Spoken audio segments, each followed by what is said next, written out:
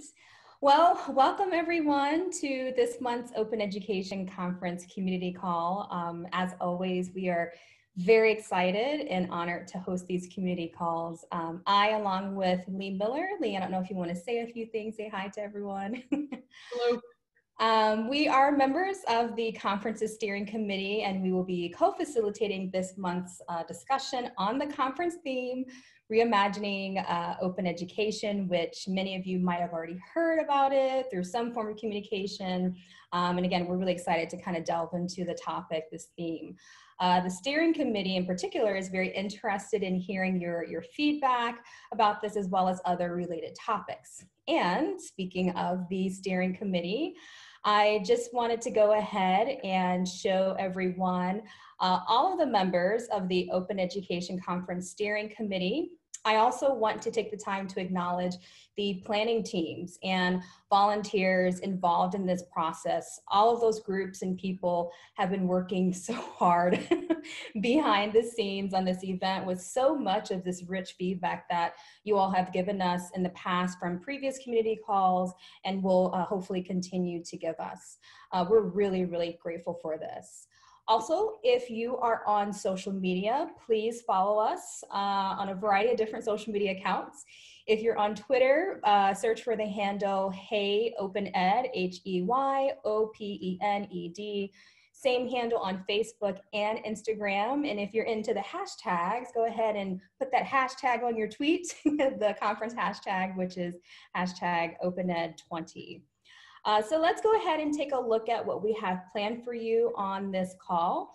So first up on the agenda, agenda, excuse me, we have some housekeeping things to take care of, specifically some updates about the conference. And then we're going to get everyone set up into Mentimeter. And for those who haven't been able to attend some of our previous Open Ed conference community calls, um, Mentimeter is the platform, the primary platform that we use to collect data and real-time feedback from you all about the topic that we'll be discussing on the, the community call. So we'll, we'll get everyone set up there. And then we're going to delve into the topic, the theme, conference theme, reimagining open education. From there, Lee is going to give you some instructions in terms of our breakout groups. So we'll discuss that in a little more detail. And then after we discuss our conference theme in smaller groups, we will then report back as a larger group about what we discussed in those, those small groups. All right, so first, let's go ahead and get set up in Mentimeter.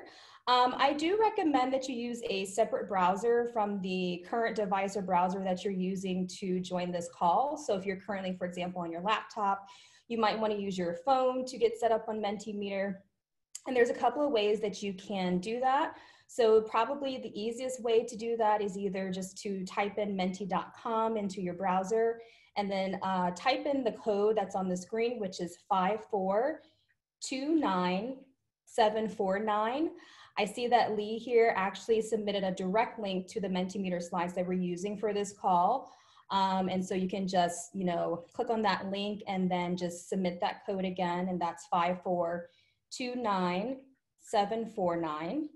Or if you're really high tech, you can take a picture of the QR code uh, on the screen and the browser, the link should automatically populate on your, your browser. So I'm gonna give people a few seconds just to get situated in Mentimeter. And if you do have any questions or if you're having some troubles getting set up, please go ahead and direct those questions in the chat.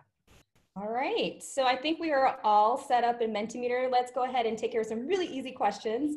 So the first question is, uh, where are you joining from for this call? You can put your state name, province, or country name, or all of the above if you want to.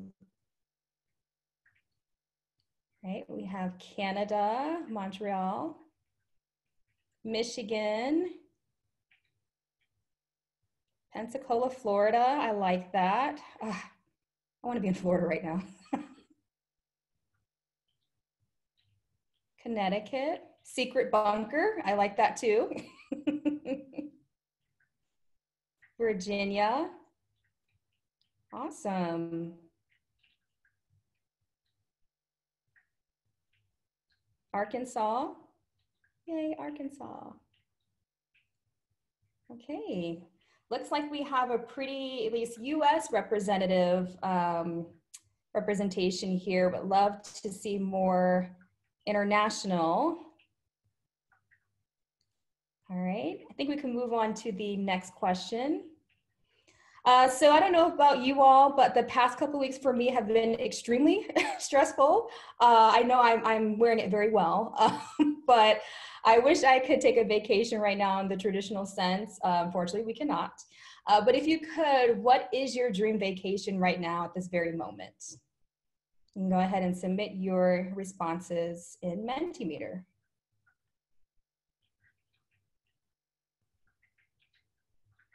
Mountains, ooh, yes. Have a lot of folks for the mountains. Nature, we have a couple people for in-person conference. That's, you know, that's okay. Tropical. A lot of people voting for the mountains. I would definitely agree with that.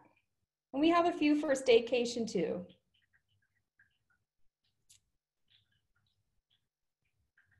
Oh, family. I like that. Space, yes. That should have been an option, Rebel. I, you know, yes, I vote for space too. I agree, Jeff. Yeah. All right, thank you so much for your responses. Um, I think at this point we're going to go ahead and, yeah, a COVID-free planet, absolutely. Uh, we're going to go ahead and get into some updates about the planning process with the conference, and I'll go ahead and pass it over to Daniel. Excellent. Thanks so much, Jasmine. Uh, well, it's great to be with you all again. Um, so you've hopefully you have all subscribed and seen the emails coming out. So if you have, you know that the conference is November 9th through 13th.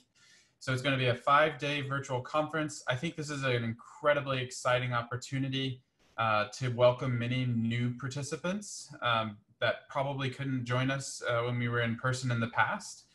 Another big update here is that uh, we have, after talking with the community, after receiving all of the feedback, we have set a standard registration rate. So for this year, it is going to be 75 um, US dollars. Uh, and we made this decision after listening to the community and understanding that affordability is incredibly important um, to our, our, our, our, community here. Um, we will be ensuring that there are uh, discounted rates available um, and that there's a scholarship process for those who may see that cost as a barrier to their participation. But we really wanted to make sure that we were balancing not only affordability, but also uh, sustainability. Um, so ho hopefully you, you, you see that uh, that we are listening, and we hope that uh, you know that $75 rate um, is amenable to all of y'all. Uh, and if it is a barrier, as we said, there are going to be discounted rates and scholarships um, available as well. So registration will open in early September, uh, and there will be more details on how to get the discounts or how to get uh, qualify for a scholarship coming out very, very soon. Um, and I'm excited to see you all in November. So let me hand it over to Nicole um, to talk a little bit more about the call for proposals.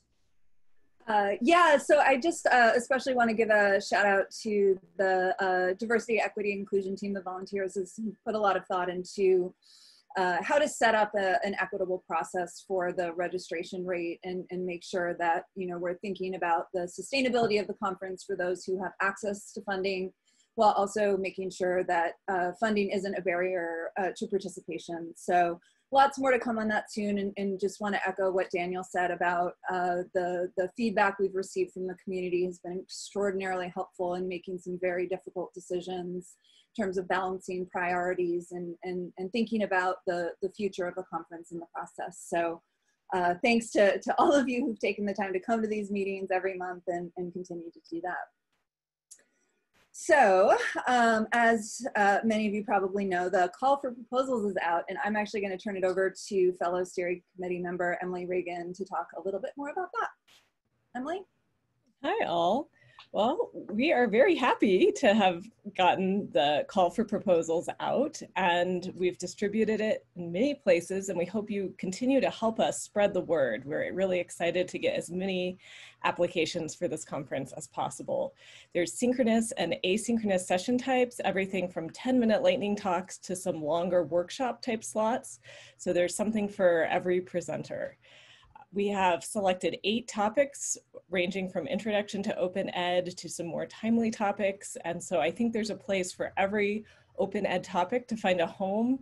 And you have the addition to propose alternatives if our eight uh, topic areas don't capture your open education related topic. So please do share our call for proposals widely. We're really excited to get a large mix of very different and diverse proposals for the conference and the chat um, has our link to the call for proposals. So we do have a Mentimeter question related to the CFP. Do you personally plan to submit a proposal for our conference? And um, noting that the deadline for the CFP is September 1st. Oh, fantastic. We have a whole um, bunch of people planning to mm-hmm. submit on this call. I'm super excited to see this. And, you know, we have a, a significant cohort who aren't planning to submit too. They seem to be gaining. um, and uh, fantastic, we already have two people on this call who have submitted. Great, so it's ended up looking a little more close to 50-50 for those of you planning to submit and uh, not planning to submit. And we welcome you all at the conference and we really welcome those of you who are submitting to um, get those submissions in by September 1st. So uh, next question, you can enter your feedback, type it into Mentimeter. What is that feedback that you have for us around the CFP? We know everything wasn't perfect this year. no one uh, foresaw COVID-19 when we started this process. And we knew building from a lot of community input would be a little slower and we're building this up from scratch. So we recognize that the timeline is not optimal. I'm a faculty member and I just started the semester. so I, I, realize this is a crazy time of year. Um, but recognizing everything, what feedback do you have for us, which will inform our process for future years? yeah, bit of a quick turnaround. Um, yeah, too quick turnaround time. Reposting is very important. And then some positive feedback, um, thanks. Everything has been clear and transparent. Someone is new to Open Ed and has no idea what to expect. Um, someone reports that it went smoothly for them and someone, this is the first they've seen of the call for proposals. So we apologize that you haven't seen it in the places that we've sent it out. And we're glad we're getting the word out now. And this is really a team effort to, to spread the word. Um, it is a busy time of year to prepare a proposal. Um, some people need permission to submit and not sure if they can get that in time. Some appreciation. Yeah. Okay so many people commenting on the short time to submit and i i do not disagree with you. This is a tight turnaround. Yeah. more time helps coordinate collaborative presentations but some understanding as to why our timeline was short this year. I'm glad that um, some people are optimistic and positive that they can make it work and i think that's a good attitude for all of us. Like we're going to make this work. Mm -hmm. Yeah, and Emily, if I may just add one thing, uh, the call for proposal form is intentionally short. It, uh, abstracts are a maximum of, of 250 characters or, or around 300 words. So uh, really, we, we didn't, uh, we considered the short turnaround when constructing the form. So, so it's not quite as much work maybe as it, it may seem, um, but certainly here, certainly here. Yes, and um, someone pointed out you can save, so you can prepare part of your proposal and save and then come back to it, you know, another day. There's also um, a nice tool in Google Docs which has all of the questions that you will have to fill out. So if you would like to prepare things in Google Docs ahead of time and then get all that um, uploading done at one time, that's another possibility.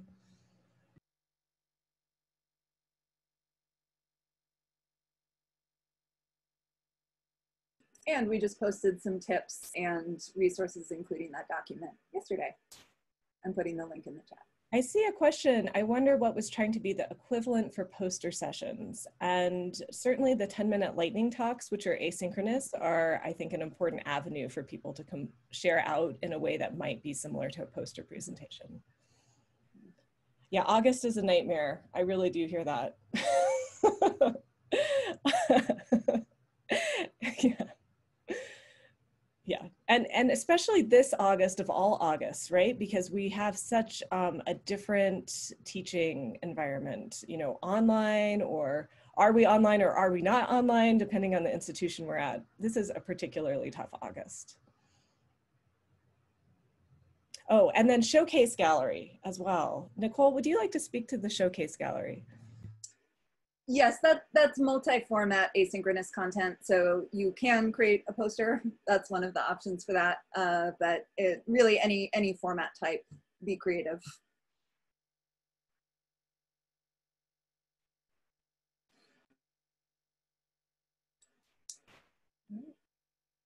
And then I hear that in the chat here. March felt like it was five years long, and August has felt like it's only been a week. Like I have, I have had the same experience of time. I, I, yes, and other people have felt that too.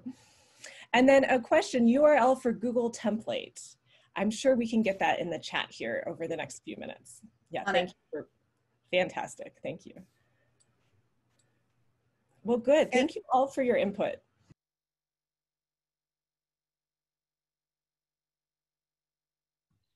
All right, so let's go ahead and get into today's main topic, which of course is the conference theme, Reimagining Open Education.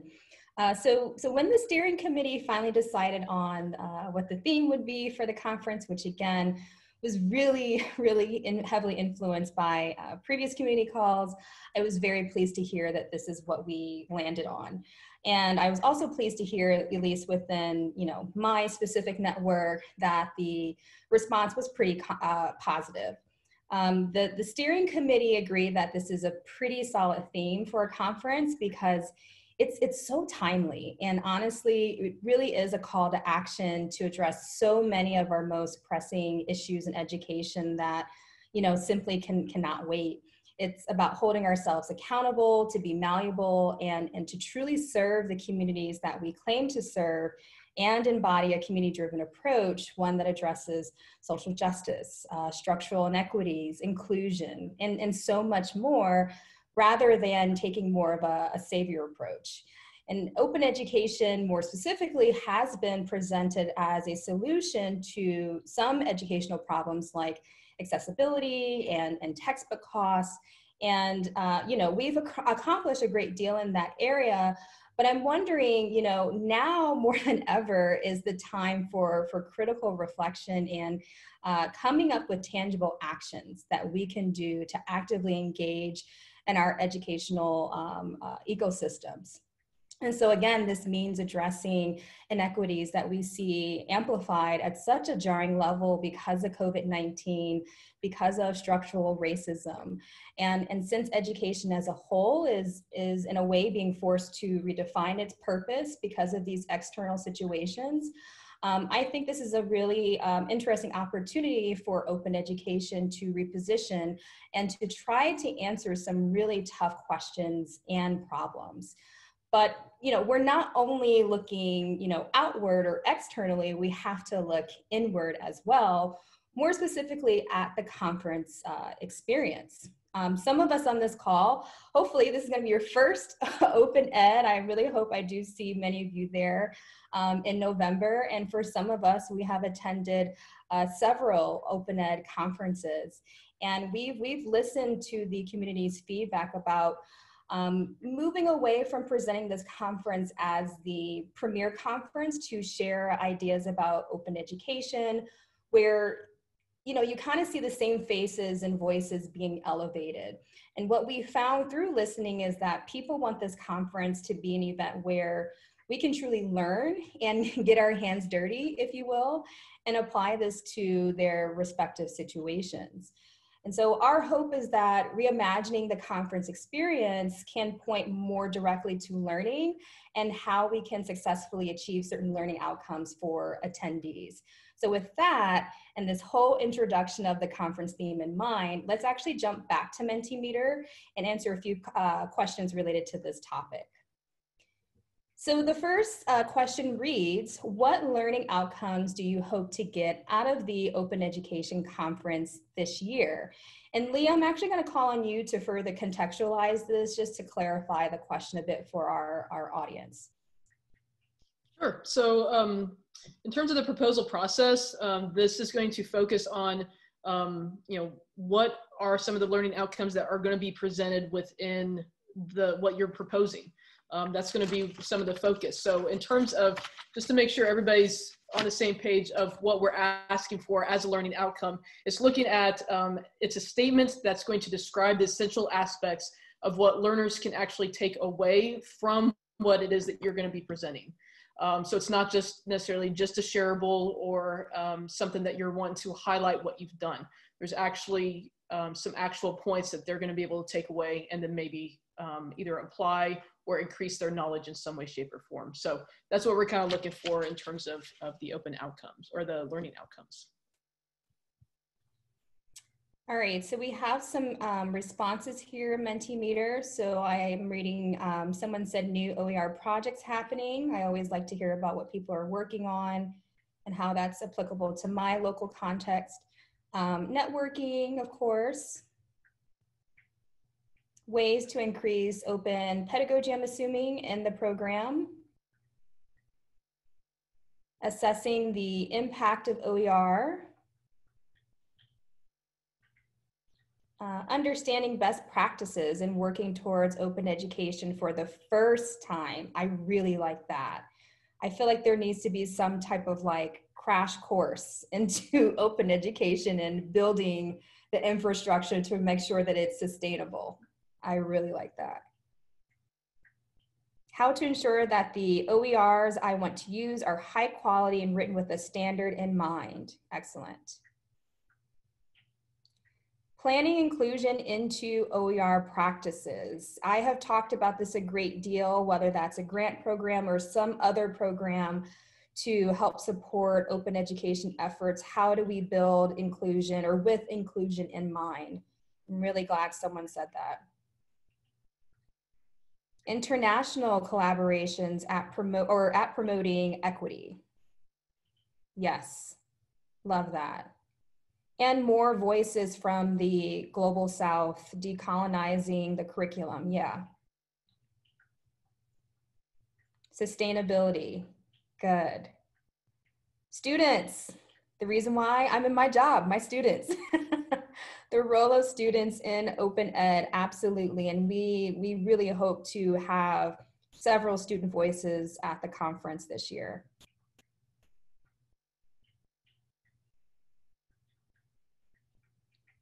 Excellent. All right i think we are ready to move on to our next question. Thank you so much for those responses so the next question reads, what do you think the long-term goals of the Open Education Conference should be? So just really take a few seconds to think about this before you respond. Long-term goals of the conference. And this can include a post-conference experience as well. All right, so we're getting a few responses. I'm seeing a lot of community, the word community be, being put here in Mentimeter. That's excellent. I like resilient communities. I really like that language. Getting a striving, sustaining, inclusive OER community all over the universe, not just the world, the universe. Yes. Establishing an open forum for sharing. Absolutely. Mentors. I think we discussed this a little bit in our last community call. Again, that kind of goes back to my joke, but not so much of a joke about a crash course and a course into OER and really um, having those initial touch points with people who are um, new to this community. Mentors, yes, mentorship community. policy language help guidelines, diversity, yes. Show the textbook publishers that we are in this for the long game and we are going to keep developing open learning solutions. Oh, they, they know. I'm sure they're well aware. but yes, still, you know, keeping that on their radar. I agree. To ensure the integrity of open source materials, yes. A sustainable annual gathering.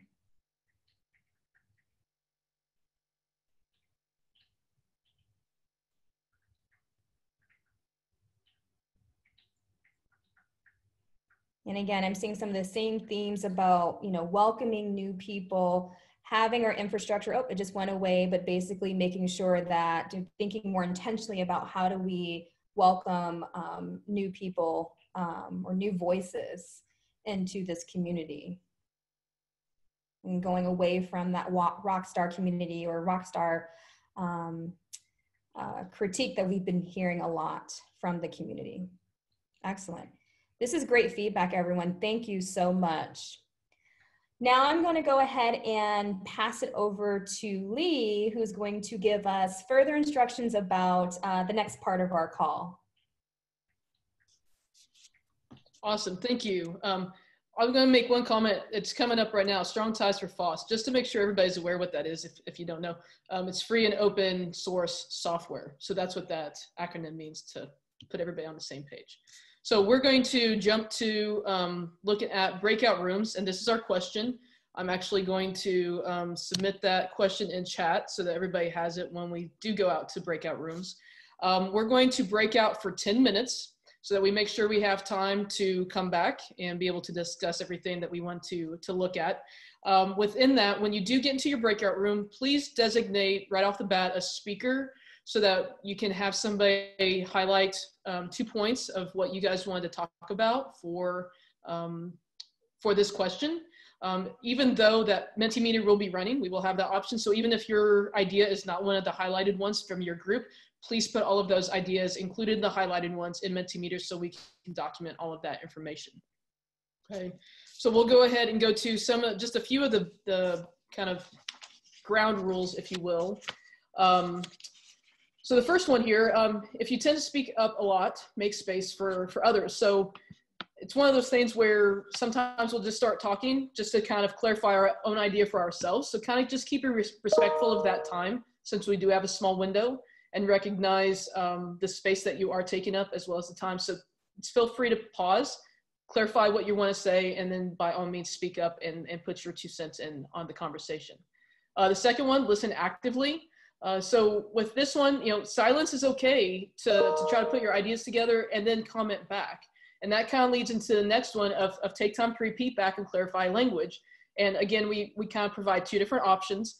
Um, so the, the goal is to make an effort towards understanding. And we can do that by either asking questions or we can do that um, by, by repeating back what we heard to clarify what they were saying.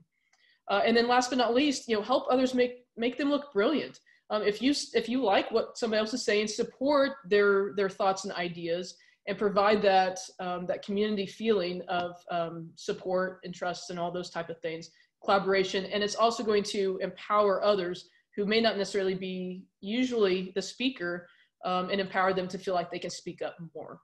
Uh, so those are just some of the highlights. Um, as we do go into breakout rooms, and Nicole's going to break us out here in just a minute. We will have a one minute notice when it gets close to that 10 minute mark. So note that. And whenever that happens, please make sure that you just wrap up whatever thoughts that you have. And if you have time, highlight which two that you want the speaker to note for your group specifically. Um, and then we'll come back to the group. We'll have Mentimeter running so that everybody can kind of highlight their thoughts while they're fresh in their minds. And then we'll go ahead and kind of go around uh, to the breakout rooms and get those highlighted and, and start our discussion from there. Okay. So I'll turn it over to Nicole to go ahead and, and break us out. All right. Uh, this has been a shifting in exact science, so apologies if you end up somewhere you did not expect to be. Uh, we're going to be in groups of around uh, five or six. And uh, when I click breakout, you're going to head into your rooms and uh, we will, um, there will be a, a, steering committee member, a member of the, the conference team in that room uh, to convene the conversation and move us forward from there. All right, I'm going to uh, open them up right now. All right, we're going to wait maybe just a few more seconds for people to trickle back in. But in the meantime, you can go ahead and submit your response to this question. What does reimagining open education mean to you? Glad to see we're already getting some responses. Absolutely. Oh, when I like it, I get to type, I don't have to talk.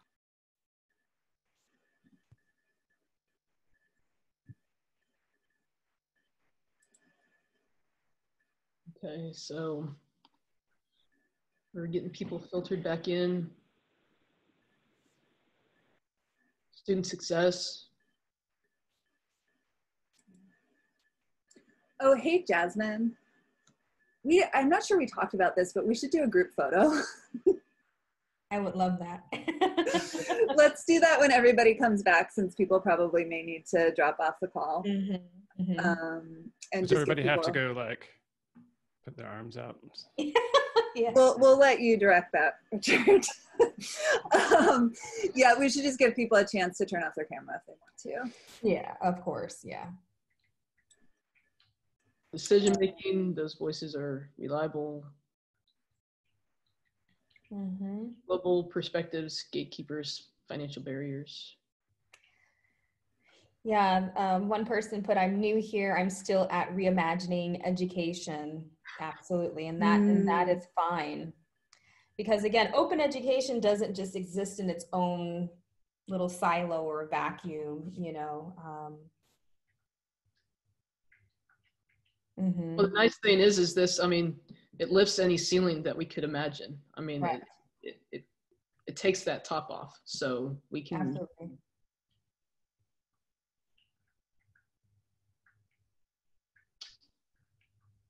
Everyone should be back. 12, um, PK through 12, not just higher education. I spent on in a lot of conversations feel free, um, if you're just uh, returning to the main room, feel free to go ahead and start putting your ideas in.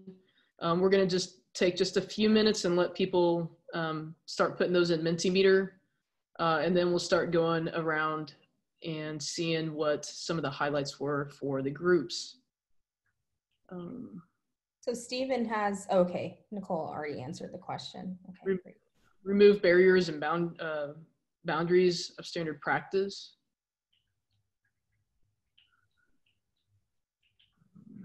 How do we make keep education inclusive and equitable? I like the keep part. And that's, I think, a, a, reflection with all the sustainability aspects. It's not just a financial sustainability; it's a cultural and cultural progress. Yes, absolutely, absolutely.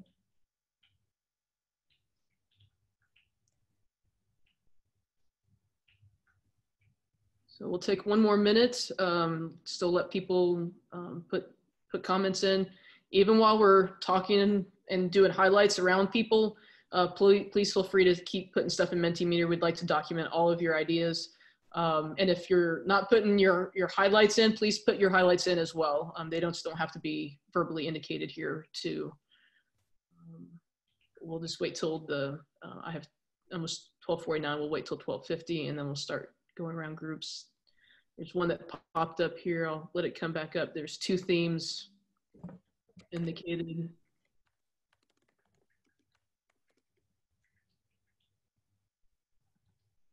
Um, students getting more involved and engaged both at the classroom level with annotation, engagement, and the text, and as student leaders either on campus or in community, including being strong vocal advocates for OER to, um, to faculty and probably, et cetera. Mm-hmm. Um, under the broad umbrella of innovation, all about the innovation. Uh, reimagine how faculty, students, libraries work together, create more awareness, customize and localize open education, changing institutional, uh, colonial and commercial interests with openness. Okay, so group summary. Thank you. All right, I know we only have about 10 more minutes um, to go. So, and, and I see here Emily said, could group four go early because people have meetings at the top of the, the next Okay. hour. So if um, the speaker from group four would like to go, give us just a brief recap. Oh, I'm so sorry. Go ahead. Um, hi, my name is Rachel Lee. Um, I'm actually a recent graduate from the University of New Hampshire, um, and I'm relatively new to the OER space. I've been working with a company called Ecotext, um, and our mission is to create opportunity through affordability. Um, so our two main um, takeaways from our small conversation there um, was to one for the um, the conference in November, possibly creating some sort of like reflection room for people who um, are new to the space, as well as for people who have had um, some years in this space. So for someone like me, I would really just love to listen and hear about past experiences, so we know what has been done good and you know what are things that we can improve on. And um, our second point was that um, for reimagining open education, um, we weren't necessarily saying we weren't sure if reimagining was um, the right word because Mm. um, there has been um, so much good done, and we need to continue and empowering each other in this space. But we also need to recognize and crit- and critique, um, you know, and make improvements within this space as well. Um, so that's a brief overview um, of what of what Group Four talked about. Wonderful. Thank you. Um, so we're going to go ahead and jump back up to the top and just start from one. So um, Daniel and Haley, that's that was your group. Who's your speaker for group one?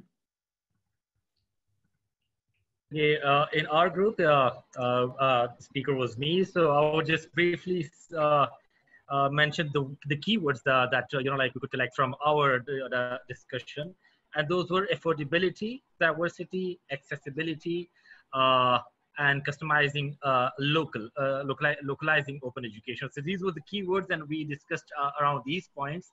So uh, uh, we mentioned, you know, like uh, the discussion was that we are stuck uh, more in the affordability part of it, and uh, we are thinking of open education more from the financial part. Uh, although we can think about all the different factors uh, that we can think uh, re- reimagine open education from.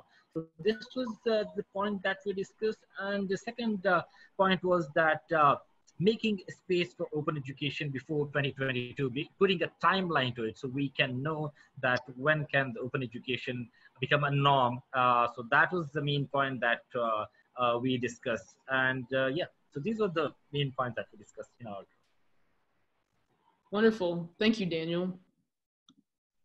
All right, I'm glad we're getting all this feedback. Thank you so much. Um, so we're going to go to the second group, which is Winnie's group.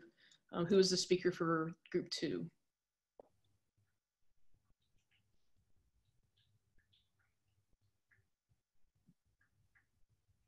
If not, Winnie, do you want to give us Oh, a that run? was Susan?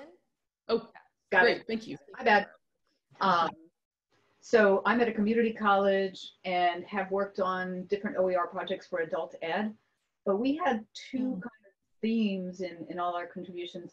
The first was getting students more involved and engaged, both at the kind of classroom level with annotation, engagement in the text, making it more culturally reflective, but also as students being the leaders, either on campus, like being the advocate for OER to faculty administration and pushing change that way, um, and in the community as well.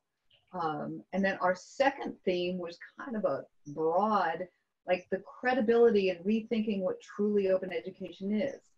Like as things are online, people are, we need credibility for where's the book, where's the classroom, are we really learning? And I think we can have more widely open, um, Ryan brought up reimagining the benefits more than cost, but more like getting people even getting things like the George Floyd and racially motivated incidents is getting the community more involved in real open learning um, and being mindful about how our data is used.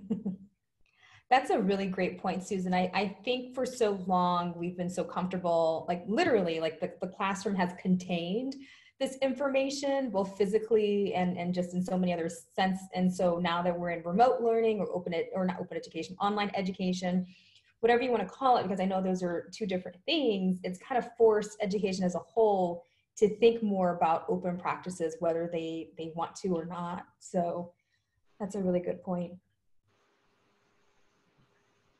Wonderful. Thank you for that. Um, we're actually going to jump because um, somebody has to jump off. So we're going to jump to group 10. Um, Regina, you want to have your group uh, present? Yeah. So um, most of what is already here in Mentimeter, we've, we've talked, so I'm not going to repeat it. Um, K to 12 partnership is really important um, discussion in our group. But uh, there's one that I'd like to highlight. Um, one of our members said, um, I hope we can reimagine um, some new models for not for collaborative um, knowledge creation beyond what is uh, being done right now. Certainly, you know, beyond the publisher model. So how do we ensure that um, there's more collaboration, not just across the same institution, but you know, inter-institution across many uh, roles and even internationally. That one is not really happening right now, especially for materials that are meant to replace the traditional um, course learning materials. So I hope we can do that. Thank you, Regina. And we are starting to, to get, so I understand if people have to drop off. Um, we're going to jump to um, to group five. The presenter has to jump off for, for Amy's group. So um, Judy, do you want to? Yeah, sure. Um, so we talked about um, the necessity of changing the paradigm um, from OER as a niche effort to openness as the dominant paradigm. And that would include not only instruction, but research and scholarship so that we understand that openness is the way that we communicate in the future. And then as part of that is the importance of advocacy, like how, to, like the how to make this happen is reaching beyond the uh, closed community, as we've been talking a lot today, to include um, a much broader uh, range of people. And then also the importance of um, embedding or integrating OER in the shift to online. So making it understood that it is both essential and beneficial to have um, open resources, as others have brought up, um, a, part of the, this, uh, the new form of online teaching. So that's, that's the, the overview. That was an awesome overview. Thank you. Thank Especially you. open as the, the the the default and not this, you know, uh, yes. uh, added unit, if you will, or niche unit. So thank you so much for that, Judy. I'll just note, thank you, Judy. Um, I'm just going to note, uh, Ethan put group eight's comments in the chat just in re reference of time.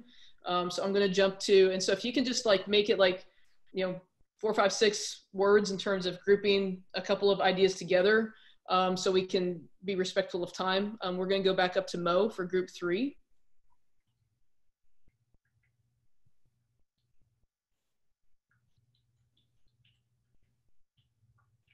Do you know who your speaker was for group three?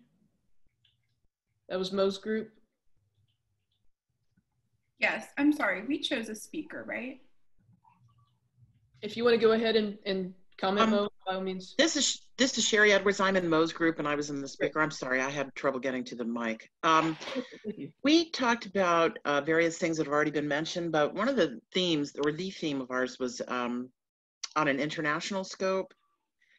Um, we talked about contributing to a global knowledge bank, which um, you know, it, it's something that does characterize OER, but reimagining that part of it.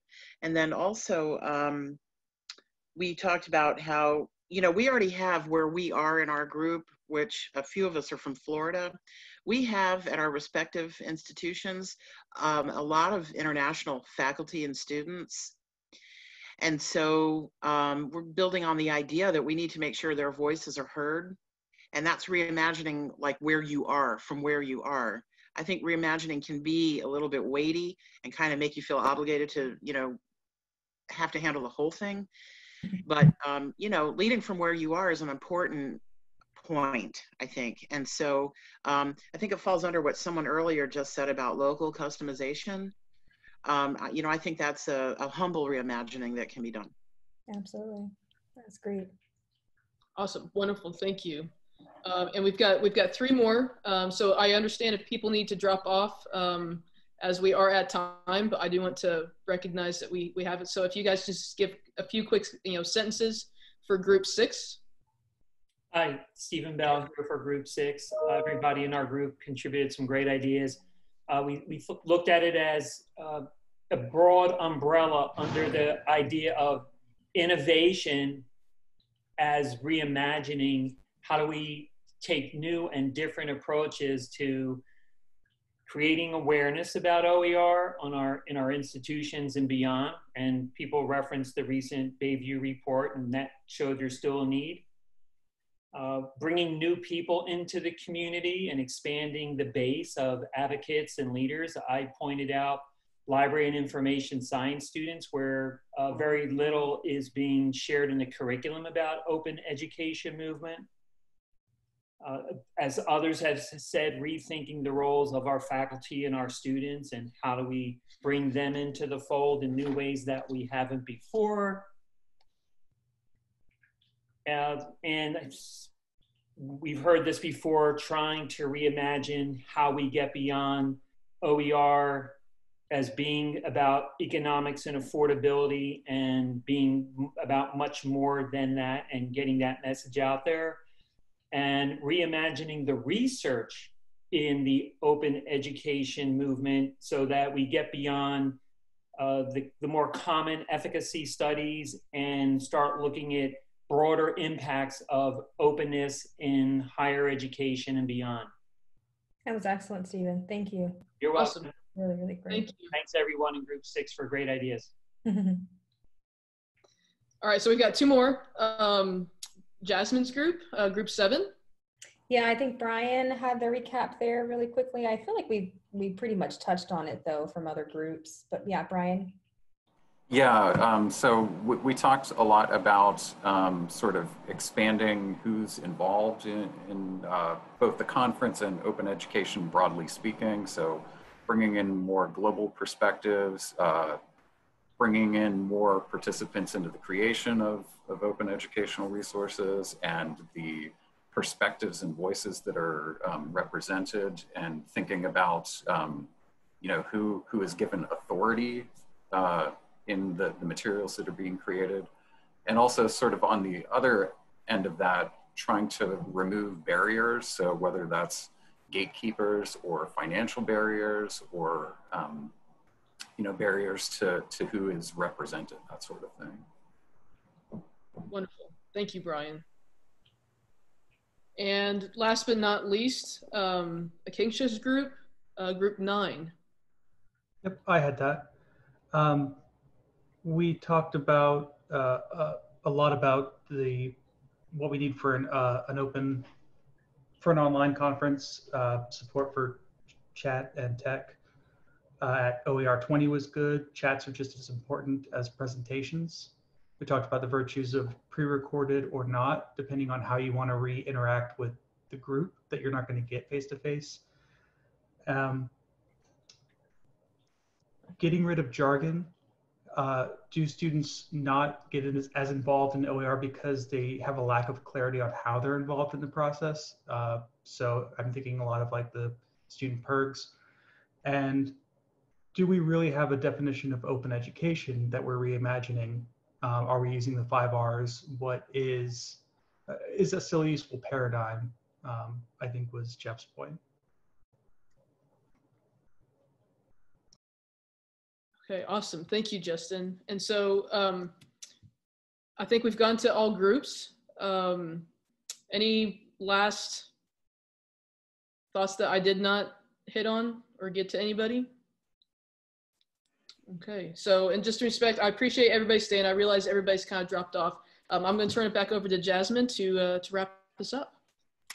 All right, I am not going to hold you all for too much more longer because we are at five minutes past. So thank you everyone for attending this month's community call. This feedback was amazing. And as always, we are going to talk about this and see how we can incorporate it into the conference experience and beyond. Uh, please join us for our next community call next month, which is September 18th. Mark that in your calendars at the same time. And of course, do not forget to submit your proposal, which is uh, the deadline is September 1st. Thank you all so, so much and have a great rest of your day. Take care. Thanks, everybody.